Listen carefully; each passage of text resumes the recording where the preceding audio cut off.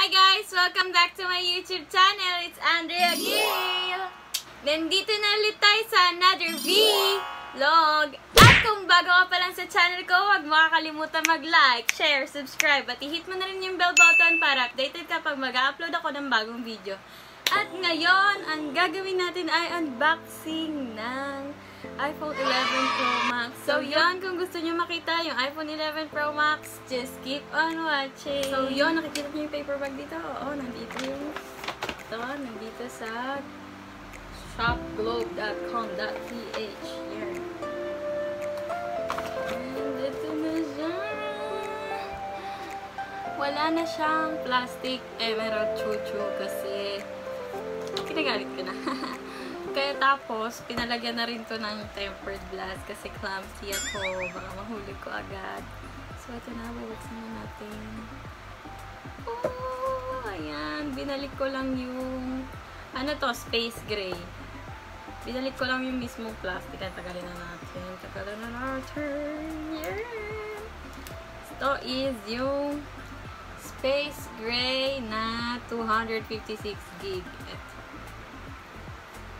Ayan! So, ito na din yung case. Ikabit natin baka mahulog ko. So, ito yung mga laman ng box. Itong designed by Apple in California. Yan. Ito. Tapos may hello. Tapos, ano pa? Ito. Yung pangtanggal ng, oh my gosh yung pangtanggal ng SIM pang open pala Tapos, dalawang apple na sticker lagyan natin. Uy nalaglag. Tapos ito. Oh kakaiba yung charger niya. Ito tapos ito yung ito yung pinakabutas niya. Ayan tapos yung earphones. Ah, ayaw. ayaw niya. Ayan. Earphones. Hindi ko na siya yung open. Kasi meron pa akong earphones. Ito yung charger. Maliit yung pinaka nilalagay dito sa ulo ng charger. Ulo ng charger! Adapter ba tawag dito? Comment down below kung adapter to, no?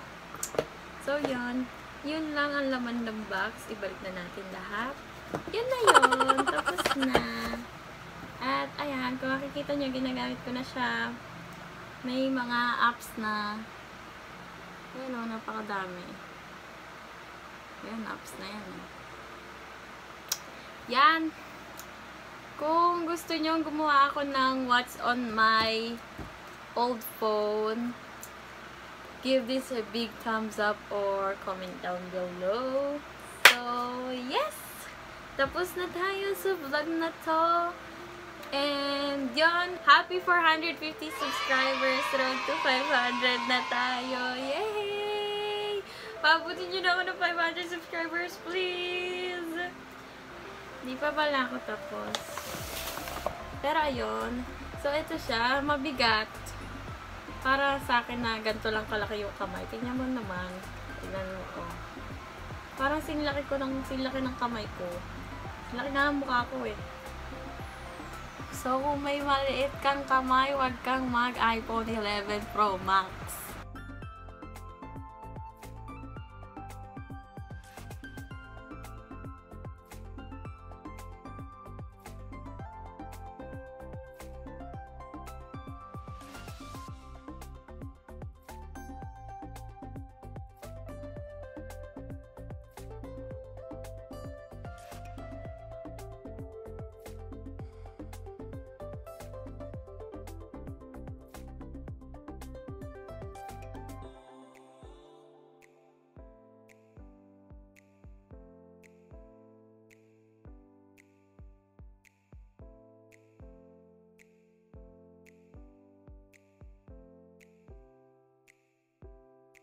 No more sana all na tayo. Yay!